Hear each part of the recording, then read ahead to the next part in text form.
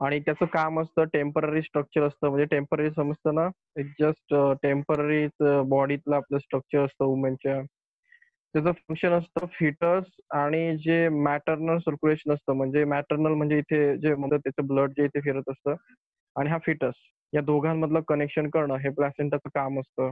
आणि सिंपल आहे कशासाठी जर ऑक्सिजन आणि न्यूट्रिशन सप्लाय करायचं या ब्लड मधनं याला. तर हे काम करतं प्लॅसेंटा आपण अजून एक बघितलं की याच्यामध्ये हे न्यूट्रिशन सप्लाय केल्यानंतर त्याच्यामध्ये काय होत असतं? मेटाबॉलिक चालतात बायोलॉजिकल प्रोसेस चालतात. आणि बायोलॉजिकल प्रोसेस काय तयार करत असतात? कार्बन डायऑक्साईड तयार करत असतात. पुन्हा एक्सिटरी वेस्ट तयार करत असतात. कारण तो काय असतो? ह्युमनच असतो. तर ते एक्सेटरी म्हणजे हे वेस्ट मटेरियल काढणं आणि न्यूट्रिशन सप्लाय करणं हे प्लॅसेंटाचं काम असतं. मदर आणि फिटसमध्ये. ठीक आहे? आता placenta attach to the wall of uterus to the umbilical cord म्हणजे ही प्लॅसेंटा जे आपण स्ट्रक्चर मानतो तर हे हा जो आहे हा अम्लिकल कॉर्ड आहे हा मुलाला कनेक्टेड झालेला असतो आणि ही वॉल आहे. तर वॉलला कनेक्टेड करणं आणि अम्लिकल कॉर्डला कनेक्टेड करणं असं हे कोणाचं काम असतं? प्लॅसेंटाचं काम असतं. दिसते डायग्राममध्ये मी सांगितलं होतं अम्लिकल कॉर्ड कुठे आहे? हा अम्लिकल कॉर्ड आहे हा कनेक्टेड झालेला आहे. याला आपण प्लॅसेंटा म्हणतो आणि हा वॉल आहे. या दोघातलं काय कनेक्शन आहे. Placenta is the only organ which tissue from म्हणजे काय की हा असा एकटा ऑर्गन आहे. हे बघा हा महत्त्वाचा पॉइंट आहे की हा जो प्लॅसेंटा आहे हा असा एकटा ऑर्गन आहे. हा टिश्यू फॉर्म टिश्यू पासून फॉर्म होतो from different individuals of mothers and foetus म्हणजे मदरच्या सेल्स आणि फिटरच्या सेल्स एकत्र येऊन हा तयार झालेला असतो. हा असा एकटा ऑर्गन असतो. तर आपल्यामध्ये कसं असतं की आता आपली बॉडी आहे तर आपली बॉडी काय करते? आपल्या बॉडीमध्ये जे ऑर्गन्स असतात ते आपल्याच सेल्स असतात. पण इथे असं नसतं. मम्मीच्याही सेल्सचं त्याच्यामध्ये कोलॅबोरेशन असतं आणि काय असतं? फिटसच्याही असतं. तर दोन टिश्यू पासून ते तयार झालेलं असतं. तर मदर आणि फिटस यांच्यामध्ये इंडिव्हिज्युअलला जॉईन करून हा प्लॅसेंटा हा एक नवीन ऑर्गन असतो. तर दोघांचा कंबाईन हा काय असतो? ऑर्गन असतो. हा एकटा बॉडीमध्ये ऑर्गन असतो. असा एक ऑर्गन दुसरा नसतो. The part of placenta contributed by the fetus is called as fetal placenta is called as the chronic filly. आता हे जे हा जो पार्ट सुरू झाला म्हणजे आपण सांगितलं प्लॅसेंटाचं कॉम्बिनेशन काय असतं? पहिलं मदरचं कंट्रीब्युशन आणि दुसरं फिटसचं कंट्रीब्युशन म्हणजे त्यात अर्धा पार्ट फिटस काम करतो दुसरा पार्ट मदरचा पार्ट काम करतो. तर त्यातला पहिला जो पार्ट आहे तो आपण बघतोय पहिला फिटसचं कंट्रीब्युशन काय असतं? तर फिटसचा जो प्लॅसेंटामध्ये काय कंट्रीब्यूट करतो हा फिटस हा काय करतो? फिटल प्लॅसेंटामध्ये इटी त्याला आपण फिटल प्लासेंटा म्हणतो. म्हणजे फिटसने बनवलेला फिटलचा प्लासेंटा आणि मदरने बनवलेला मदरचा प्लासेंटा तर फिटसच्या प्लासेंटामध्ये काय असतात? हे क्लोनिक व्हिली असतात. दिसतंय क्लोनिक व्हिली ह्या अशा प्रकारचे स्ट्रक्चर तयार होतात. याला काय म्हणतात? व्हिली म्हणतात. हे कोण तयार करतो? फिटस तयार करतो. कुठे तयार करतो? तर त्या मदरच्या वॉलमध्ये तो अशा प्रकारच्या व्हिली तयार करतो. दिसतंय? क्रोनिक व्हिली हा क्रोनिक लेअर असतो आणि हा काय करतो? असा वाढतो बाहेर. हे बघा. हा लेअर कोणता आहे? हा कोरोन हा कोरोनिक आहे लेअर आहे आणि तो असा बाहेर एक्सटेंड होतो अशा प्रकारे. वॉलमध्ये घुसून जातो. आणि याला म्हणतो आपण कॉर्निक विली विली म्हणजे फिंगर लाईक स्ट्रक्चर असे स्ट्रक्चर होतात मग ते वॉलमध्ये घुसून जातात.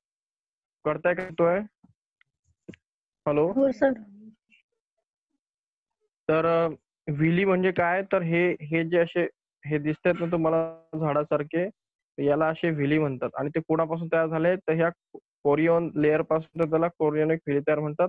आणि हा कोणाचा पार्ट आहे? फिटसचा पार्ट आहे. तर फिटसचा लेअर त्याच्यामध्ये असं घुसून जातो वॉलमध्ये जे फिंगर लाईक स्ट्रक्चर तयार करतो त्याला कोरोनिक फिली म्हणतात. आता other part which is rich of blood supply by the mother and it is the uterine wall term as a maternal placenta आता तो दुसरा पार्ट आहे बघा. तिथे दुसरा पार्ट कोणता आहे? हे जे व्हिली आहे ते व्हिलीच्या बाहेर काय आहे? या फक्त हा तर हा तर कोणाचा फिटसचा पार्ट आहे.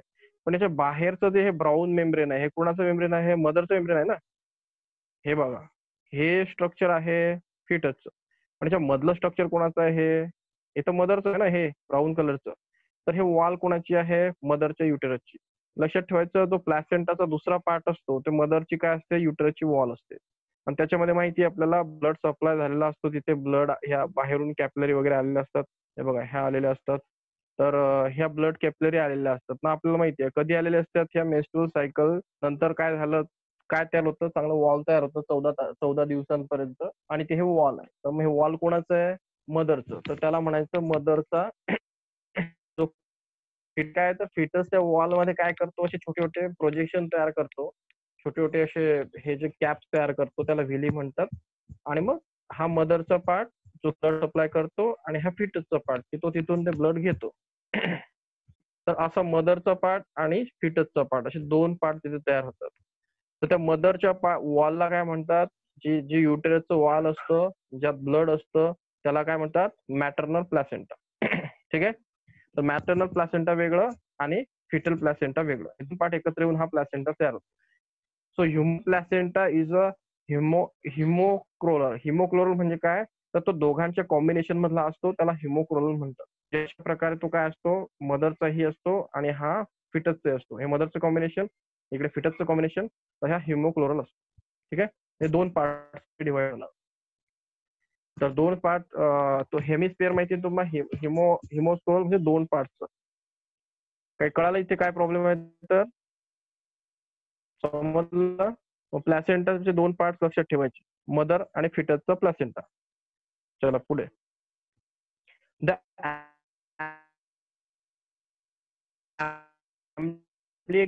Three blood vessels two are small arteries which carry blood toward the placenta and one is a long vein which return blood into foetus तर हे बघा हा अंबलिकल कॉर्ड वरती प्रश्न आलेला आहे. अम्बलिकल कॉर्ड म्हणजे कोणता? हार्ट कॉर्ड याला अम्बिलिकल कॉर्ड म्हणतात. तुम्हाला दिसतंय का इथे बघा एक रेड लाईन दिसते आणि दोन ब्ल्यू लाईन दिसते ब्लॅक लाईन दिसते दिसते एक रेड आहे आणि दोन काय आहे? ब्लॅक आहेत. बघा हे रेड आहे हे रेड आहे आणि त्याच्यामध्ये ब्लॅकचे असे दोन असे बघा दोन फूट दिसत तर तुम्हाला असे असे आणि त्यातनं एक रेड गेलेला आहे. तर अशा प्रकारचा अम्बिलिकल कॉर्ड असतो. तर अम्बिलिकल कॉर्डमध्ये काय सांगता येईल तुम्हाला? तर अम्बिलिकल कॉर्डमध्ये तीन ब्लड व्हेसल्स असतात. म्हणजे तीन ट्यूब्स असतात. त्यातल्या थ्री ट्यूब्स मधल्या दोन काय असतात? आर्टेरीज असतात. आर्टेरी म्हणजे काय? Which carry blood toward the placenta and one large vein which return the blood to the foetus समजता आहे बघा. आर्टेरी जी असते हे आर्टेरी आहे. या दोन ब्लॅक कलरच्या असतात हे बघा.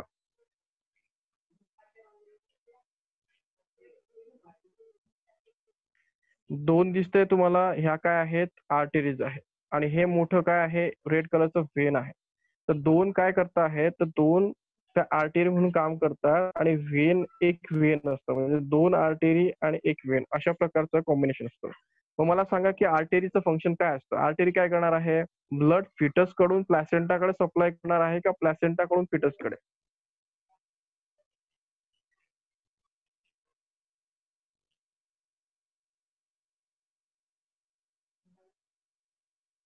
हॅलो प्लासेंटा कडून फिटसकडे हे बघा. जे आर्टेरीज आहेत म्हणजे बघा इथे कन्फ्युजन नीटसाठी लक्षात ठेवा. हे आम्लिकल कॉर्डमध्ये हा फिटस असतो. याच्याकडे एक काय असतं? एक मोठा काय असतो? व्हेन असतो. लार्ज व्हेन असतो. आणि दोन काय असतात? आर्टेरी असतात अशा प्रकारचे. दोन अशा आर्टेरी असतात. मग आता आर्टेरी कुठून बघतात? पुन्हा सांगतो आहे दोन स्मॉल आर्टेरी असतात. ते कॅरी करतात ब्लड टुवर्ड द प्लॅसेंटा ते फिटस कडनं प्लॅसेंटाकडे ब्लड कॅरी करतात आणि जो लार्ज व्हेन असतो तो काय रिटर्न करतो ब्लड टुवर्ड द फिटस म्हणजे तो काय करतो फिटसकडे काय करतो ब्लड रिटर्न करत असतो. समजत आहे? पुन्हा सांगायचं? हे बघा हा फिटस आहे. या फिटस मधला जो व्हेन आहे तो लार्ज तो काय करतो ब्लडला रिटर्न करतो फिटसकडे आणि ज्या आर्टेरीज असतात ते याच्याकडनं ब्लड सप्लाय करतात प्लॅसेंटाकडे त्या दोन छोट्या आर्टेरीज असतात आणि एक मोठा व्हेन असतो. मोठा व्हेन फिटसला सप्लाय करतो ब्लड आणि दोन छोट्या आर्टरी त्या प्लॅसेंटाकडे सप्लाय करतात ब्लड कळालं? हॅलो हो सर हे बघा पुढे आहे आता असा प्रश्न विचारला जाणार नाही. तुम्हाला प्रश्न इथे नीटने काय विचारला होता तर एकच प्रश्न विचारला होता प्लॅसेंटावरती आतापर्यंत आलाय. तो म्हणजे हे जे प्लॅसेंटा असतो हा कोणता हार्मोन तयार करतो? तर मागे सांगितलं होतं कोणता हार्मोन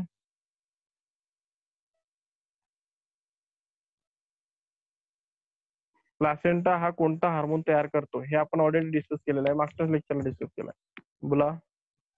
प्रोजेस्टेरॉन प्रोजेस्टेरॉन तर याच्यावरती प्रश्न आलेला नाहीये. मागेच प्रश्न गेला आहे की प्लॅसेंटा हा प्रोजेस्टेरॉन हार्मोन तयार करतो आणि प्रोजेस्टेरॉन हार्मोन ह्या प्लॅसेंटाच्या आधी कोण करत असतं? तर कॉर्पस लुटियम कोण करत असतो? कॉर्पस लुटियम हा कॉर्पस लुटियम काय पार्ट असतो? तर हा जे आपलं ओव्हरी असतं त्याच्यातलं ते जे ग्राफियन फॉलिक्युल असतं ग्राफियन फॉलिक्युल मधनं ओव्हल निघून गेल्यानंतर जो येलो पोर्शन हे असतो त्याला कॉर्पस ल्युटियम म्हणतात. काल आपण डिस्कस केलं होतं. आठवत आहे हो सर तर प्रोजेस्टेरॉन वरती क्वेश्चन आलेला आहे. चला पुढे बघू. The umbilical cord which is form of the Thiel हे झालं. Placenta is act as a endocrine tissue सांगितलं आहे. इंडोक्राईन म्हणजे काय? ते काहीतरी बाहेर सोडते. And it produces SCG SCG म्हणजे काय? ज्याच्याने प्रेग्नन्सी डिटेक्ट होते तो हार्मोन नंतर प्रोजेस्टेरॉन माहिती प्रेग्नन्सी हार्मोन इस्ट्रोजन म्हणजे काय? फिमेल हार्मोन तर तिघेही हार्मोन पाठवण्याचं काम कोण करतो? प्लॅसेंटा पण यातला महत्त्वाचा पार्ट कोण असतो? प्रोजेस्टेरॉन सर्वात महत्त्वाचा जो लेव्हल मेंटेन करतो तो तो प्रोजेस्टेरॉनचा तर हा प्रश्न बोर्डने विचारलेला आहे की placenta produces which type of hormone तर तिथे ऑप्शन होता प्रोजेस्टेरॉन तर तिथे तुम्हाला एससीजी दिसू शकतं किंवा एस्ट्रोजन दिसू शकतं. तर हे महत्वाचं आहे. तर तो कोणती ग्लँड आहे? इंडोक्राईन इंडोक्राईन ग्लँड म्हणजे काय? इंडोक्राईन टिश्यू म्हणजे काय? आपल्या प्रकार आपल्याकडे दोन प्रकारच्या टिश्यू किंवा ग्लँड असतात. इंडोक्राईन आणि एक्झोक्राईन बोला. नीट वाले जेवण झालं का? जेवण झालंय? हॅलो साहिल? जांभरे? जांभरे आहे की नाही जांभरे? जांभरे? हॅलो अरे कोणी आहे की नाही तिकडे? आदित्य? हा सर.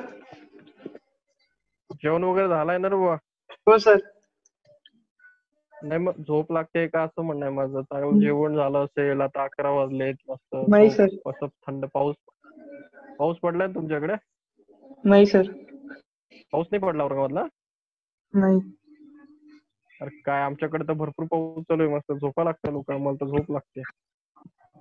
सर, झोपू नका. ठीक आहे? इकडे लक्ष हो. द्या. महत्व- महत्त्वाचा जो पॉइंट होता तो म्हणजे की हा नीटमध्ये महत्त्वाचा आहे. प्लॅसेंटा हा प्रोजेस्ट्रॉन तयार करतो इस्ट्रोजन तयार करतो आणि ऍसिड तयार करतो. तर हा कोणताही बघा प्लॅसेंटा हा ऑर्गन आहे. ठीक आहे? आणि तो कोणता तरी हार्मोन तयार करतोय. तर हार्मोन तयार करणाऱ्यांना काय म्हणतो आपण? ग्लॅन म्हणतो. पण याला ग्लॅन्ड आपण असं कन्सिडर करत नाही कारण टेंपररी ऑर्गन असतो हा. त्याला आपण इंडोक्राईन टिश्यू म्हणून टाकतो. ठीक आहे? एक मास आहे तो काय हार्मोन तयार करतो आहे. तर इंडोक्राईनचा अर्थ असतो ज्या ग्लॅन्सला काय नसतात? ट्यूब्स नसतात. म्हणजे डक्ट्स नसतात. समजलं? आता पिच्युटरी दिसायला कशी असते? एवढीशी असते फक्त. अशी पी सारखी डोक्यात अशी बेसला असते. तर हिला काही ट्यूब काही असतात का? हे कशी कनेक्शन करते? आपल्या ब्लडमध्ये काय करते? आता हे पिच्युटरी ग्लँड डोक्यामध्ये इथे बसलेली असते. जे काही बॉडीमध्ये ट्यूब्स गेलेल्या असतात का नाही ती काय करते? फक्त ब्लडमध्ये काय करू ठीक आहे?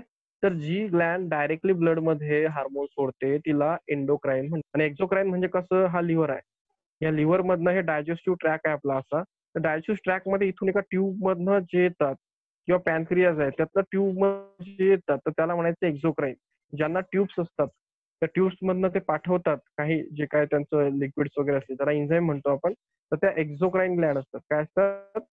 एक्झोक्राईन सिंपल आहे. लक्षात आलं पाहिजे. मागच्या वर्षी आपण याच्यावरती भरपूर वेळ डिस्कशन केलं होतं. एक्झोक्राईन आणि इंडोक्राईन पुढे बघू. The level of SCG increases up to the end of first trimester and then decline सांगितलं होतं आपण. फर्स्ट ट्रायमिस्टर शिकलो होतो. बारावी पर्यंत कालचा आठवडा. हे सांगितलं होतं ची लेवल काय होते डिक्रीज होते. By the end of first trimester progesterone produce by the placenta हे सांगितलं होतं. प्रोजेस्ट्रॉन प्लॅसेंट प्रोजेस्ट्रॉन काय करायला लागतो? प्लॅसेंटा काय करायला लागतो? प्रोजेस्ट्रॉन तयार करायला लागतो. त्याच्या आधी कोण तयार करत असतो? कॉर्पस ल्युटियम जो की ओरीमध्ये असतो. This hormones are required for the fetal growth and maintenance of pregnancy याचे हे सर्व प्रेग्नेन्सीसाठी चालू असतं. जे की आपण फर्स्ट टाइम ट्राय मिस्टरमध्ये शिकलो होतो. डाऊट आहे कोणाला इकडे? काय बोलतोय? समजतंय का? हॅलो हो सर हो सर हे बघा जर जरा बोलतो याच्यामध्ये की जरा खुर्चीवर बसलोय जरा खाऊन पिऊन घेतलाय मी. थांबा जरा फिरतो जरा मी आता. जरा मलाही बरं वाटेल. जरा झोपेतच शिकवल मी तुम्हाला. ओके आता बघा आवाजही चांगला येतोय का? आता? बरोबर आता हो सर येतो. तर आता बोला आता थोडस मी बाहेर आलोय. झोप म्हणजे आता जेवण झालं होतं. आता आपण थोडस रिकॅप करू. हे बघा. आपण टॉपिक सुरू केला आहे प्लॅसेंटा प्लॅसेंटा मिलन काय करणार? हे बघा आपला मेन टॉपिक जे होते ते झालेले आहेत. हे जस्ट एक्स्ट्रा टॉपिक्स आहेत. की प्लॅसेंटा म्हणजे काय? फिटस आणि हा जो फिटस असतो हा फिटस आणि मदर यामधलं कनेक्शन म्हणजे प्लॅसेंटा कशासाठी असणार आहे? न्यूट्रिशन सप्लाय करणं आणि जे वेस्ट मटेरियल ते काढून टाकणं. समजलं? यामध्ये दोघांचं पार्ट्स असतात. म्हणजे प्लॅसेंटाचे दोन असतात. एक म्हणजे मदरचा पार्ट दुसरा म्हणजे फिटसचा पार्ट मग फिटसच्या पार्टला फिटसची प्लासेंटा म्हणतात मदरच्या पार्टला मदरची प्लासेंटा म्हणतात. फिटसची प्लासेंटा म्हणजे काय असतं? असतं. म्हणजे अशा प्रकारचे. म्हणजे फिटरचा जो बाहेरचा लेअर असतो हा कोरियनचा लेअर असतो हा काय करतो? अशा प्रकारे वाढतो आणि त्या फिमेलच्या वॉल युटरसच्या वॉल तिथे घुसून जातो. आणि स्वतः ट्रॅप करून घेतो. त्याला सपोर्ट लागतो ना आता हा युटर असा असतो.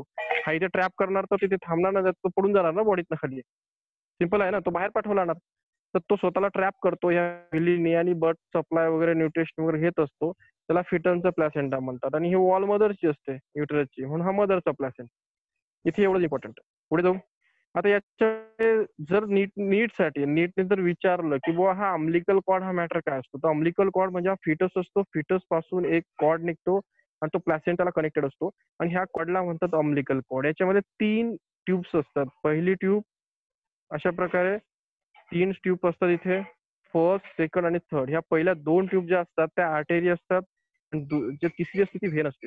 या आर्टेरी ज्या असतात ह्या काय करतात? ब्लड सप्लाय करतात. कुठून करतात? फिटसपासून तर प्लॅसेंटाकडे ठीक आहे? आणि व्हेन काय करतात? कडे कडे ब्लड काय करतात? पुन्हा रिव्हर्स करत असतात. ब्लड इम्पॉर्टंट नाहीये. इथे इम्पॉर्टंट लक्षात ठेवा की ते कम्लिकल कॉर्डमध्ये काय काय असतं. तर एक मोठी व्हेन असते आणि छोट्या आर्टेरी असतात. एवढं तरी तुम्हाला माहिती मिनिमम माहिती असलं पाहिजे. बोर्ड वगैरे इथे काही जात नाही.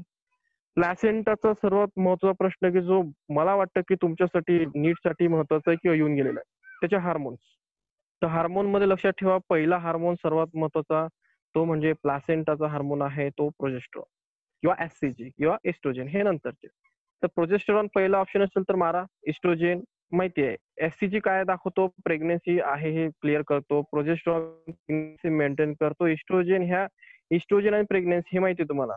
प्रोजेस्टेरॉन आणि इस्ट्रोजन असल्याशिवाय ती वॉल जी असते युटरसची वॉल ही मेंटेन करण्याचं काम कोण करत हार्मोन करत असतात. प्रोजेस्ट्रॉन एस्ट्रोजन हे जर चुकून कमी झाले तर प्रेग्नेन्सी काय होऊ शकते? डिस्टर्ब होऊ शकते. तर तुम्ही बघितलं असेल भरपूर लेडीजमध्ये असं कधी कधी होतं की प्रेग्नेन्सी एकदमच डिस्टर्ब झाली काहीतरी हार्मोन चेंजेस झाले आणि प्रेग्नेन्सी एकदमच मध्ये इंटरप्ट झाली. म्हणजे जो फिटस होता तो वॉलपासून डिटॅच होऊन गेला. तो फिटस वॉलपासून डिटॅच यासाठी झाला की वॉलच ब्रेक होऊन गेली. तर वॉल ब्रेक काय झाली? तर ते हार्मोन्स बॉडीमध्ये कमी काहीतरी कमी जास्त झाले आणि त्याला प्लॅसेंटा मधलं त्यांचं प्रोडक्शन कमी जास्त झालं.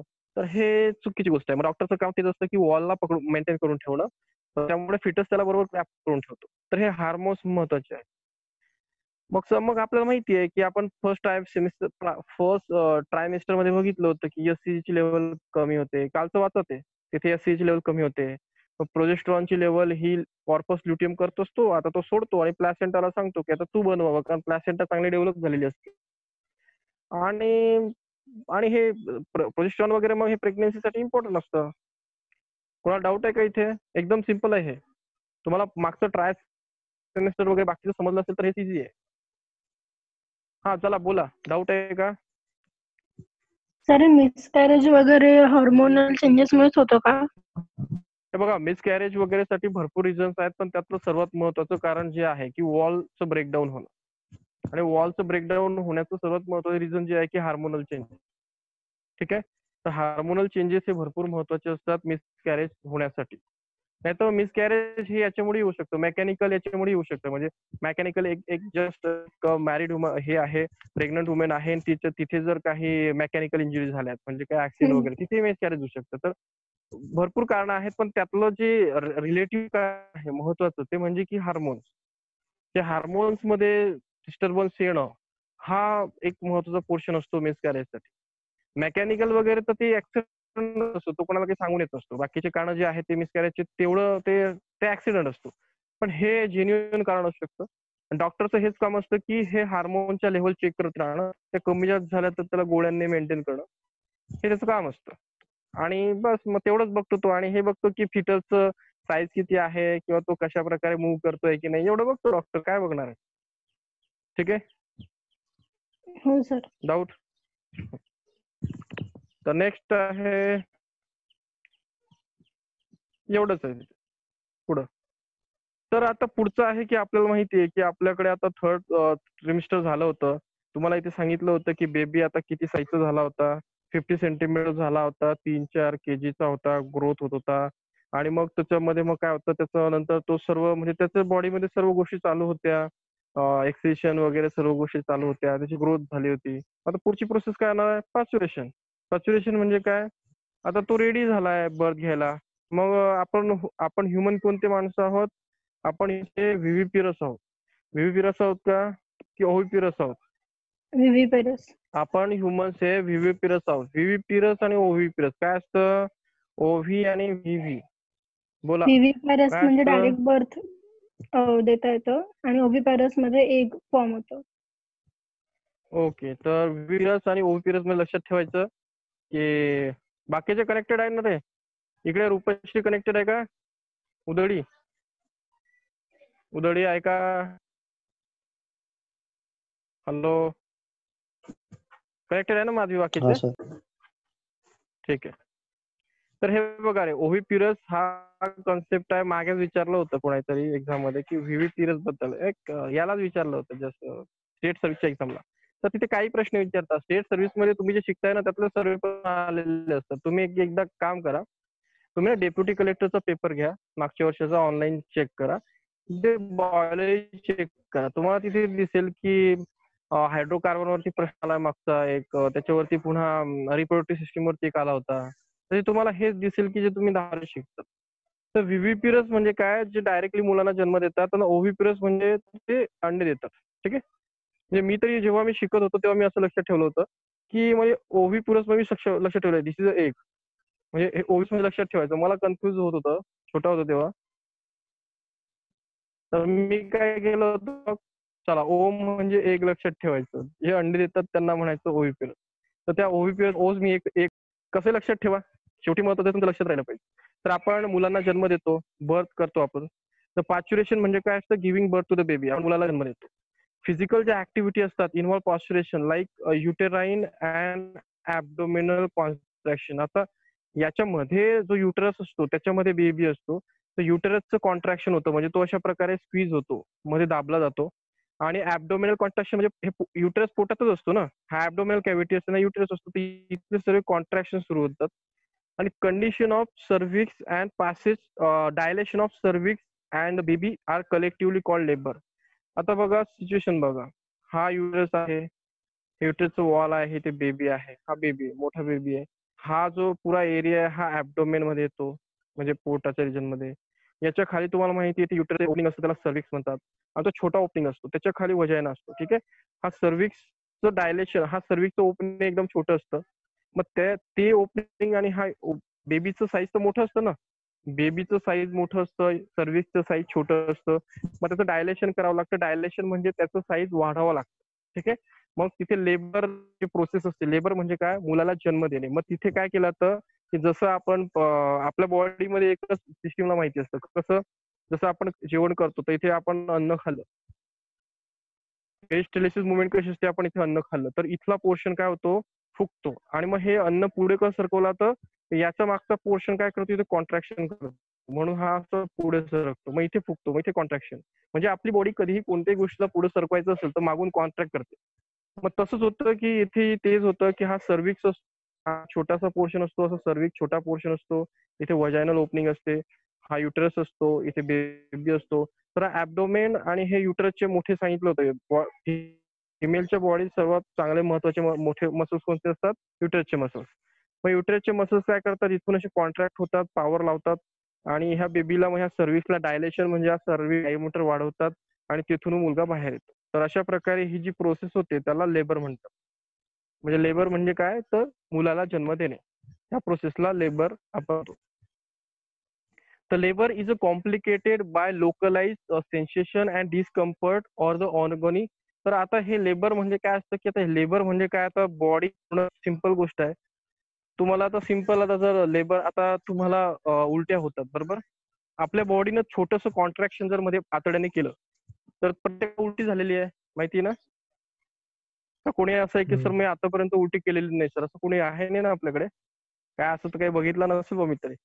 आहे का कोणी सर आतापर्यंत वॉमिटिंग झालं नाहीये. झालं ना प्रत्येकाला? हो सर तर ओमेटिंग होताना तुम्हाला माहिती असेल ओमेटिंग जेव्हा होतं तेव्हा तुम्ही एकदा सिच्युएशन आठवून बघा की तुम्हाला ओमेटिंग होत आहे. त्या सिच्युएशनला आहे ना माणसाला कसं फील होतं की छोटीशी गोष्ट जस्ट बॉडीला बाहेर टाकायची असते तेव्हा कॉन्ट्रॅक्शन होतं. तर माणसाला आहे ना ते सहन म्हणजे ओमेटिंग करताना एकदा फील करा तुम्ही. ज्याला जेव्हा झालं असेल ना तुम्हाला ते आपल्याला सोपं वाटतं दुसरं ओमेटिंग करतोय. पण ते त्याला फील होतं जबरदस्त फील होतं बॉडी अशा प्रकारे एकदम जबरदस्त रिॲक्ट करते. तर ही प्रोसेस तशी बॉडी म्हणजे एकदमच रिॲक्ट करते. आहे त्या बेबीला एकदम बाहेर पाठवायचं आहे आणि सर्व्हिसला डायलेट करायचं आहे आणि तिथे मग काय होतं डिस्कम्फर्ट आणि पेन होतो बॉडीमध्ये जसं की तुम्हाला जसं फील होतं की ओमेटी एकदमच तुम्हाला कंटिन्यू होत आहे तसं फील होतं त्याच्यापेक्षा डेंजर फील होतं. आता ते त्या लेडीजलाच माहिती आहे की आता ज्यांनी बर्थ दिला तेच ते आता पेन तर काही सांगू शकत नाही. सिंपल आहे. आणि ज्यांनी दिलं असेल बेबीला बर्थ त्यांनाच माहिती असेल. पण पेन मोठं असतं. जसं की डॉक्टर सांगतात लोक सांगतात. सिंपल आहे. तर ते लेबर पेन असतं हे लोकलाइज सेन्सेशन असतं आणि डिस्कर्टमध्ये टाकलं जातं. तर त्याला लेबर पेन म्हणतात. म्हणजे मुलाला जन्म देतानाच पेन तर अशा प्रकारचं हे लेबर पेन असतं. त्याच्यामध्ये काय काय होतं मग? की युटेरस आणि पोटाचे ऍबडोमेलचे कॉन्स्ट्रक्शन होतात. सर्व्हिसला डायलेट डायलेट करणं म्हणजे काय आता बघा ही डायमीटर असेल. ही डायमीटरपेक्षा जर डायमीटर एवढी झाली म्हणजे मोठी झाली तर याला डायलेशन म्हणतात. तर याला लेबर पेन म्हणतात. ठीक आहे? आणि आपल्याला चांगलं माहिती आहे की मुलाला जन्म देणं ही काही सिंपल प्रोसेस नसते. तर parturition is control by complex neuro endocrine mechanism आता हे पॉच्युरेशन कसं कंट्रोल केलं जातं? प्रत्येक गोष्टीला कंट्रोल करणारं म्हणजे काय? युटरस डिसिजन घेतो का? या युटरसला कंट्रोल करणारा कोण बसलेला असतो? ब्रेन बसलेला असतो.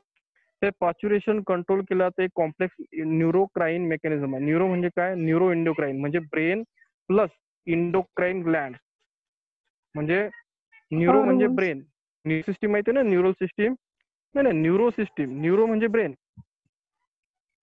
इंडोक्राईन सिस्टीम म्हणजे काय? ग्लँड ग्लँड आणि न्यूरो ब्रेन सेंट्रल नर्वस जेव्हा एकत्र काम करतात आणि ह्या लेबर वर्कला काय देतात? कंप्लीट करतात. म्हणजे याच्यामध्ये तुमची नर्वस सिस्टीमही काम करत असते. किंवा नर्वस सिस्टीम वेगळी गोष्ट आहे इंडोक्राईन सिस्टीम वेगळी गोष्ट आहे. समजतंय का? कन्फ्युज करू नका. This is a endocrine system म्हणजे पिच्युटरी ग्लँड आयडिनल ग्लँड टेस्टिस मग पॅनक्रियास आणि न्यूरो नर्वस सिस्टीम म्हणजे काय? ब्रेन स्पायनल कॉर्ड न्यूरॉन्स या दोघही डिफरंट सिस्टीम्स आहेत. कळालं का? तर या दोघं सिस्टीम एकत्र काम करतात आणि काय करतात? हे प्रोसेस कंप्लीट करतात. त्याला म्हणायचं आपण लेबर तर याच्यामध्ये काय होतं बघा? The signal arises from the fully form fetus and the placenta causes mild uterine contraction आता जेव्हा फिटर्स पूर्ण फुल्ली प्रिपेअर होतो म्हणजे आता फिटर्स आता जो आता मला सांगा कोण सांगणार आहे की फिटस प्रिपेअर झाला? नर्वस सिस्टीम आहे ना आपली ब्रेन सिस्टीम आहे ना त्याला कोण सांगणार? जो फिटस ऑलरेडी प्रिपेअर झालेला आहे तो किंवा त्याच्या जवळचा प्लासेंटा काय करतो? सिग्नल जनरेट करतो की फिटस हा चांगल्या प्रकारे तयार झालेला आहे. तर त्याच्यामुळे मग काय होतं? कॉम तिथे युटराय ह्याच्या माईल कॉन्ट म्हणजे याच्यामुळे काय होतं? माईल कॉन्ट युटरसची छोटी छोटी अशी कॉन्ट्रॅक्शन थांबा जरा पाऊस येतोय.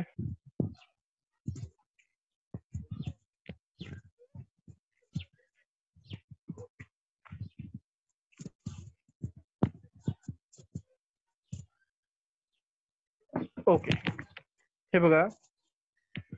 आपण काय बघतोय? पॉच्युरेशनची प्रोसेस बघतोय. आणि ती न्यूरो मेकॅनिझम कंट्रोल करतं. म्हणजे ब्रेनचं मेकॅनिझम आणि हे ग्लँडचं मेकॅनिझम तर याच्यामध्ये पहिलं जे सुरुवात कुठून होते की सिग्नल स्टार्ट होतो कुठून फिटसपासून कारण तो फिटसच असतो ना की जो तयार झालेला असतो. तर तो तो स्वतः सिग्नल जनरेट करतो आणि प्लॅसेंटा सिग्नल जनरेट करतो. त्याला की त्याने कनेक्टेड केलं असतं. म्हणजे फिटस आणि प्लॅसेंटा एक सिग्नल जनरेट करतो की तो फुल्ली प्रिपेअर झाला आहे. मग त्याच्यामुळे ते ज्याला कनेक्टेड आहे जो युटेरस त्याचे कॉन्ट्रॅक्शन सुरू होतात. म्हणजे तो असा छोट्या छोट्या कॉन्ट्रॅक्ट करायला लागतो. ठीक आहे? त्याच्या accomplish by rising oestrogen and progesterone ratio यांचा रेशो वाढतो. इस्ट्रोजनही वाढतो आणि प्रोजेस्ट्रॉनही वाढतो. आणि त्याच्यामुळे इन्क्रीज आणि त्याच्यामुळे increase in oxidation receptor in uterine muscles याच्यामुळे काय होतं? हे बघा कंडिशन बघा की पहिले तर युटेरस काय करायला लागतो? कॉन्ट्रॅक्ट करायला लागतो. त्याच्यानंतर काय होतं? की तिथे इस्ट्रोजन आणि प्रोजेस्ट्रॉनचे काय होतं? त्या कॉन्ट्रॅक्शनमुळे इस्ट्रोजन प्रोजेस्ट्रॉनचे रेशो वाढायला लागतात. कारण ते त्याचं रिलेशन प्लॅसेंटाशी असतं. आणि त्यामुळे अजून एक सिस्टीम तिथे वाढतं. तिथे ऑक्सिटोसिन हे ऑक्सिटोसिन रिसेप्टर असतात युट्रेन मसल्स मधले. ते काय होतात? ऍक्टिव्ह होतात. ठीक आहे?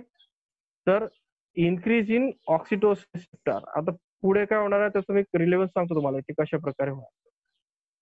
आता they causes the vigorous contractions of the myometrium uterus wall and the end of the pregnancy आता बघा मागच्या वर्षी आठवत आहे का ऑक्सिटोसिन शिकवलं होतं मी तुम्हाला? जांभरे मागच्या वेळी सांगितलं होतं ऑक्सिटोसिन काय असतो हा हार्मोन असतो. बरोबर? त्याचं काय काम असतं? मागच्या वर्ष गेलं काय मागच्या वर्ष? माधवी ऑक्सिटोसिन नाव ऐकलंय का? हो सर मी सांगितलं होतं ऑक्सिटोशन हे मसल्स कॉन्स्ट्रक्शनसाठी इम्पॉर्टंट असतं आणि युटरसच्या मसल्स कॉन्स्ट्रक्शनला काय करत असतं मदत करत असतं. हे जे काय होतं की जेव्हा हा युटेरस काय करायला लागतो माइल कॉन्ट्रॅक्ट करायला लागतो आणि त्याचे जे वॉल्स असतात ना त्याच्यामध्ये रिसेप्टर वाढतात कोणते? ऑक्सिटोसिन साठीचे. आणि ऑक्सिटोसिन हा हार्मोन बाहेर बॉडीतनं त्याला सप्लाय केला जातो आणि ते लगेच त्यांना मग सिग्नल मिळतो. हे कोणासाठी रिसेप्टर झालेले असतात की ऑक्सिटोसिन त्याला मिळावं? हे ऑक्सिटोसिन रिसेप्टर मग हे मसल्स त्यांना जेव्हा त्यांचं रिसेप्टरला जेव्हा ऑक्सिटोसिन मिळतं तेव्हा हा युटरस काय करतो? व्हिगरसली कॉन्टॅक्ट करायला लागतो मायोमेट्रियमचे मायोमेट्रियम इंडोमेट्रियम मायोमेट्रियम समजतो ना? आणि इंडो मधला मायोमेट्रियम बाहेरचा. तर हे मसलचे हे काय आहेत? कोणाचे वॉल्स आहेत? युटरेसचे युटरेसचा मायोमेट्रियम असतो त्यात मसल्स असतात. ते कॉन्ट्रॅक्ट जोरात करायला लागतात. आणि मग uterus at the end of pregnancy म्हणजे प्रेग्नेन्सी होण्याच्या वेळेस ते काय करतात? जोरदार कॉन्ट्रॅक्ट करायला लागतं मग fully develop muscle give signal for the uterine contraction by secreting andro आता बघा काय समजतं ना? काय सुरू झालं आता? युटरेसचे कॉन्ट्रॅक्शन सुरू झालेले आहेत vigorous the fully develop fetus give signal for the uterine contraction by secreting हा प्रश्न महत्त्वाचा आहे. Adrenocortico hormone A C T H कोण डेव्हलप करतो? Fully develop fetus give signal for the uterine contraction by secreting ACTH adrenocorticotropic hormone आता adrenocorticotropic hormone हा कुठून येतो? मागच्या वर्षी शिकवलं होतं. आठवा. पिच्युटरी ग्लँड मधनं ऍड्रिनोकॉर्टिकोटॉपिक हार्मोन मागच्या वर्षी शिकवलाय.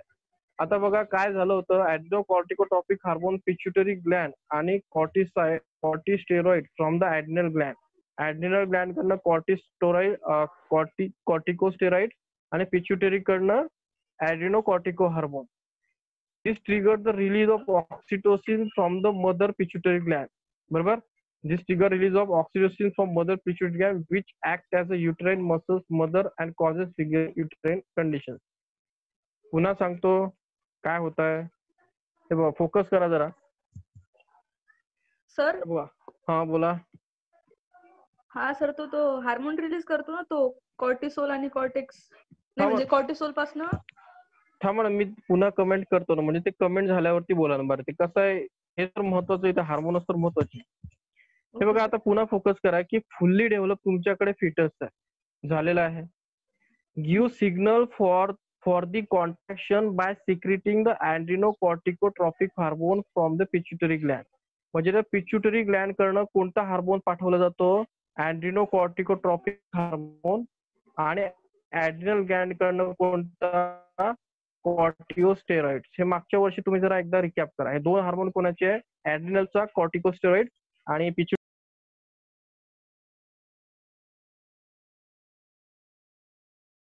डेव्हलप झाल्यानंतर त्याच्यानंतर डेव्हलप झालेला आहे. हा सिग्नल देतो. कशासाठी? की मी तयार झालेला आहे. आता मला काय करायचंय? बाहेर पडायचंय. मग हा कोणाला सिग्नल देतो? पिच्युटरी ग्लँडला की तुम्ही काय करा? एसीटीएस तयार करा. ऍड्रेला कॉर्टिकोस्टेरॉइड तयार करा. आणि ह्या युटरेसच्या वॉलला काय करा? कॉन्ट्रॅक्शन सुरू करा. समजलं?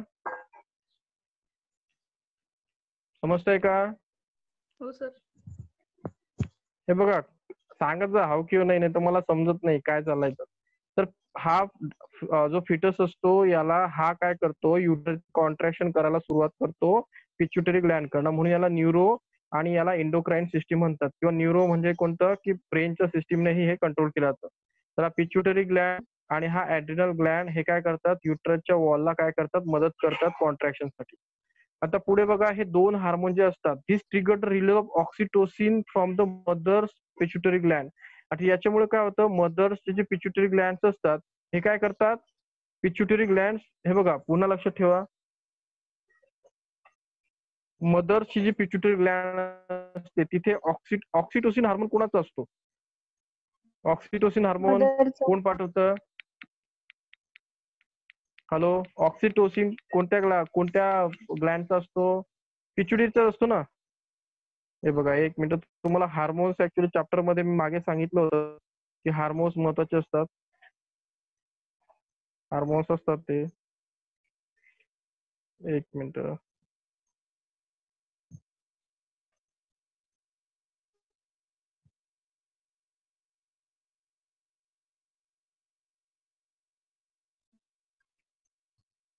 ना ती? हॅलो हा सर हा सर ही पिच्युटरी ग्लँड आहे ना? डायग्राम मागच्या वर्षी शिकवली होती. तर पिच्युटरीच्या ग्लँड मधनं इथून हार्मोन्स खाली येणार आणि इथून इथून जे हार्मोन्स आहे बघा कॉर्टिसोल वगैरे इथून पिच्युटरी ग्लँड आणि ही कोणाला अँड्रिनो कॉर्टिको जी असते अँड्रिनो कॉर्टिको हार्मोन्स कोणाला स्टिम्युलेट करतो? अँड्रिनो कॉर्टिको स्टिम्युलेटिंग हार्मोन हा अँड्रिनो कॉर्टिको स्टिम्युलेटिंग हार्मोन हा कोणाचा हार्मोन असतो? पिच्युटरी ग्लँडचा हा कोणाला टार्गेट करतो? कॉर्टिस कॉर्टिकोला कॉर्टिको म्हणजे ऍडिनल ग्लँड मधला कॉर्टिकोला हे बघा. इथून सी टी एच निघतो. कोणाकडनं? फिटस कडनं तो एसीटीएच कोणाला टार्गेट करतो? हा अँटिनो कॉर्टिकोट्रॉपिक हार्मोन कोणाला टार्गेट करत असतो अँटिनल ग्लॅनला त्याच्यातनं कॉर्टिसोल तयार होत असतो. ठीक आहे तर हा काय करतो? हा इथे जातो. आणि हा कोणाला स्टिमु हे कोणावरती स्टिम्युलेट करतात? तर हे स्टिम्युलेट करतात ह्या मदरच्या पिच्युटरी ग्लँड मदरच्या पिच्युटरी ग्लँडचं आणि यांचं काय रिलेशन असतं हा कॉर्टिसोल जो असतो हा मदरच्या पिच्युटरी ग्लँडला कंट्रोल करून काय तयार करतो? ऑक्सिटोसिन फॉर्म करतो. आणि ह्या ऑक्सिटोसिन मग ह्या वॉलला काय करतो? कॉन्टॅक्ट करायला सुरुवात करतो. आता याच्यामध्ये प्लासेंटल ऑक्सिटोसिन वगैरे प्रोस्टाग्लँडिन व तुम्हाला तशा प्रकारचं मेकॅनिझम इथे दिलेलं नाही. तुमच्या बुकमध्ये सिंपल मेकॅनिझम दिला आहे की हा जो असतो फिटसचा पिच्युटरी ग्लँड तो एसीटीएस तयार करतो. आणि तो अटॅक करतो त्याच्या ऍड्रिनल ग्लँड वरती. त्याच्या ऍड्रिनल ग्लँड वरनं काय होतं होतं की तो कॉर्टिक कॉर्टिकोस्टेरॉइड तयार करतो. हे दोघांच्या इफेक्टमुळे काय मदरचा जो प्लास्टिक हा जो पिच्युटरी ग्लँड असतो हा ऑक्सिटोसिन तयार करायला लागतो बघा. आणि या ऑक्सिटोसिनला तुम्हाला मागेच सांगितलं की जेव्हा हा फिटस सिग्नल तयार करतो तेव्हा ह्या युटरसच्या वॉलमध्ये छोटे छोटे माइल्ड कॉन्ट्रॅक्शन चालू होतात आणि याचे ऑक्सिटोसिन रिसेप्टर काय करतात ऍक्टिव्हेट होतात.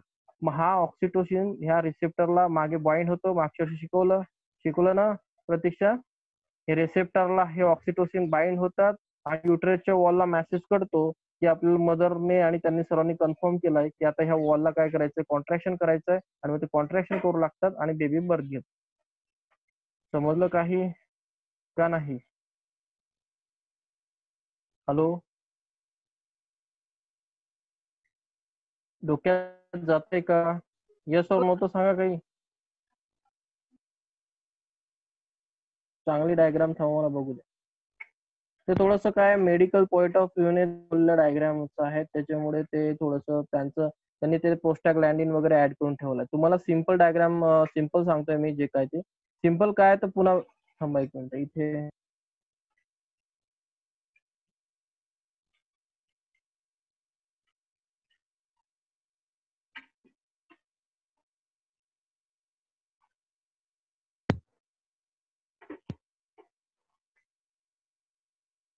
हे बघा.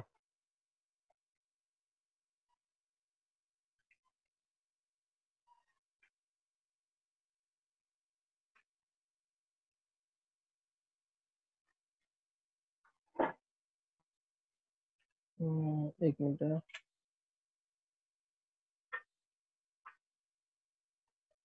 डायग्राम दिसते का तुम्हाला? मोठी होत नाही डायग्राम डायग्रामने तो व्हिडिओ ऍक्च्युली हे बघा फर्स्ट स्टेप जे आहे तर फर्स्ट स्टेप लक्षात ठेवा. नीटसाठी मी जास्त फोकस करतोय.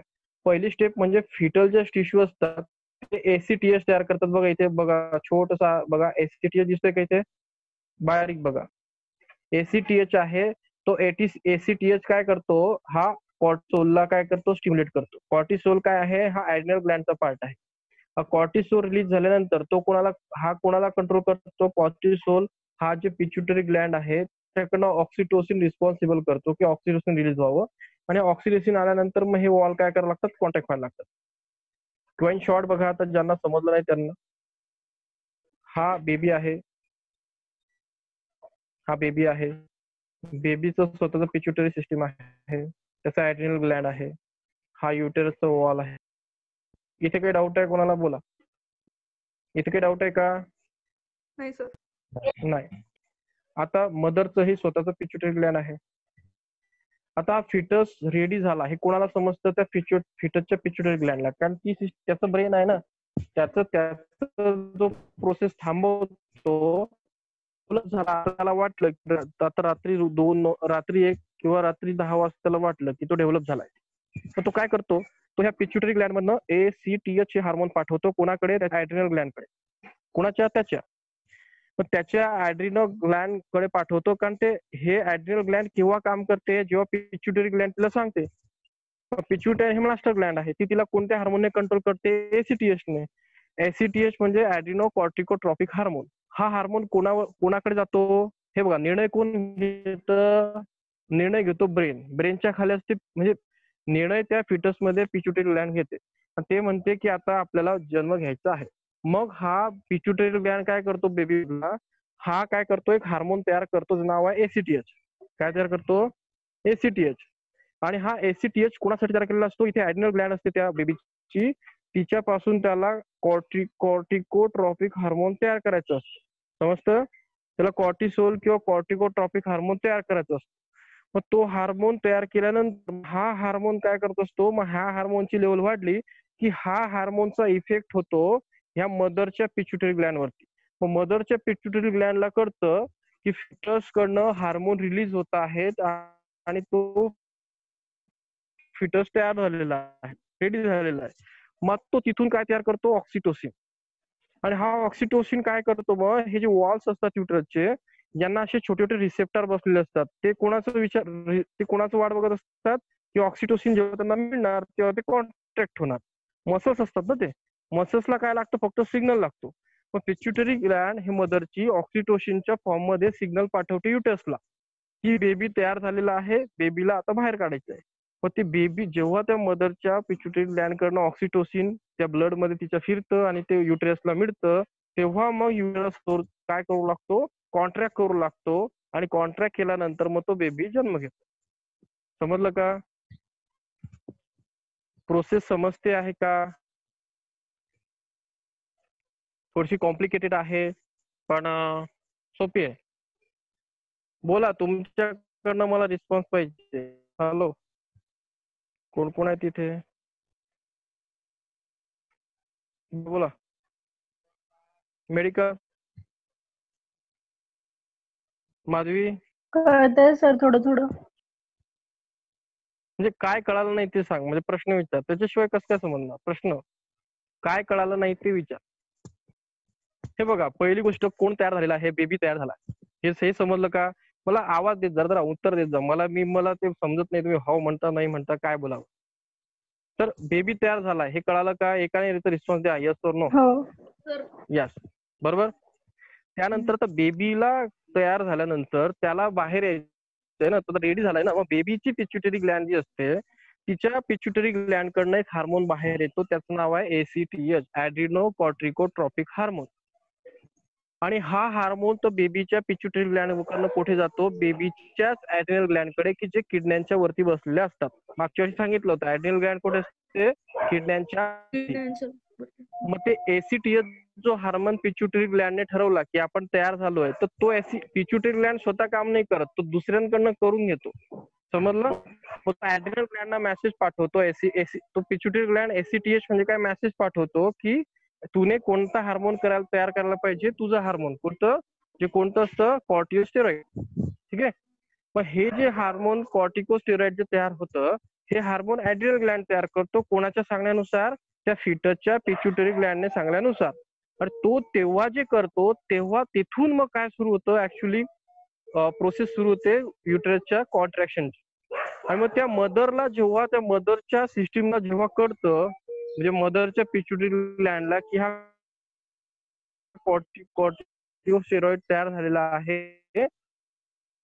तेव्हा ती मदरची पिच्युटरी ग्लँडला रिअलाइज होत की फिटस मग ती काय करते? त्या उच्च स्थिती मदर मग मदरची पिच्युटरी ग्लँड काय करते? तिथून ऑक्सिटोसिन नावाचा हार्मोन तयार करते. तो ऑक्सिटोसिन नावाचा हार्मोन्स मग काय करतो? त्या युट्रेसच्या मदरच्या वॉल जवळ येतो आणि तो जे रिसिव्ह होतो तो रिसिव्ह झाल्यानंतर मग ते युटरसचे वॉल त्या मदरच्या सांगण्या म्हणजे त्या पिच्युटच्या सांगण्याप्रमाणे कॉन्ट्रॅक्ट व्हायला लागतात आणि तो मदर तो बेबी बाहेर येतो.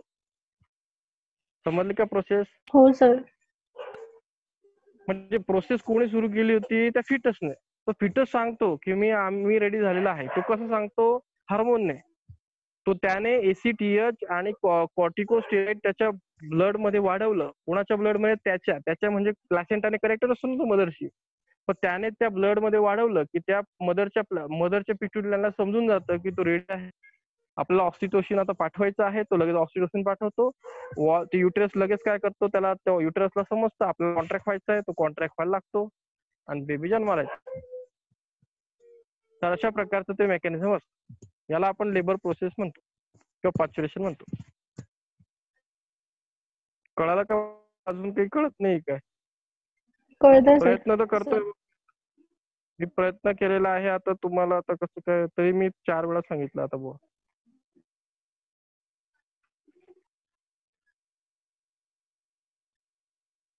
एक मिनिट पुढचं काय टॉपिक बघून घेऊ काय मॅटर आहे तर. तर ही महत्वाची प्रोसेस होती बाबा प्रॅच्युरेशन कारण हे मुलांना तेच समजत नाही की बेबी जन्माला म्हणजे आता आता ते बायोलॉजी नाही शिकले सिंपल गोष्ट आहे. त्यांना काय माहिती बेबी कसा जन्म घेतो? बायोलॉजी वगैरे काय शिकायचं असतं? एवढं तर समजलं पाहिजे की बेबी कसा जन्माला येतो काय असतं?